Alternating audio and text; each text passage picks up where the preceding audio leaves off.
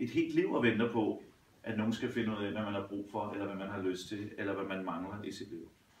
Øh, og, og det gælder i virkeligheden os alle sammen. Og, og, og, og det værste er, hvis man aldrig får givet udtryk for, hvad man har brug for, og hvis man aldrig får det, man har brug for, øh, fordi man venter på, at nogen skal spørge, så bliver man bitter, og man bliver skuffet. Og, øh, og, og, det, er, og, det, og det går mest ud over en selv.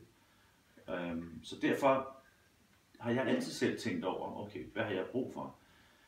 Hvad har jeg lyst til? Det er ikke altid, det har lykkes mig at formidle det. Øhm, og, og det kan også være rigtig svært at kunne være god til at, at give udtryk for, på hvilken måde skal man nu sige det, uden at, det, at man forlanger det, eller forventer det, men komme som en opfordring. Og det er derfor, jeg blandt andet øh, bruger rigtig meget noget, der hedder ikke-voldelig kommunikation.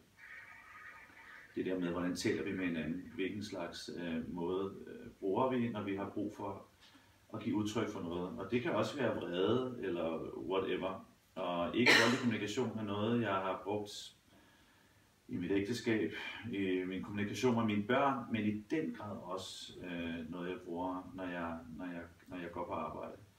Fordi at jeg øh, set i bagspejlet har måttet se i øjnene, at der er rigtig mange mennesker, øh, jeg arbejder sammen med, som simpelthen taler nedladende, øh, øh, ikke særlig rart til en. Øh, og, og det kan jeg slet ikke leve med. Jeg er et enormt følsom menneske, øh, og, og, jeg, og jeg er så følsom, at en af, en af mine hovedsætninger i mit liv, det er muligt, I har nogle andre hovedsætninger, det er også muligt, I er slet ikke klar over, hvad for nogle sætninger I skal sige til jer selv, men jeg har sådan nogle sætninger, jeg siger til mig selv, for ligesom at kunne øh, komme igennem livet, og det er blandt andet ikke tage det personligt, ikke tage ting personligt.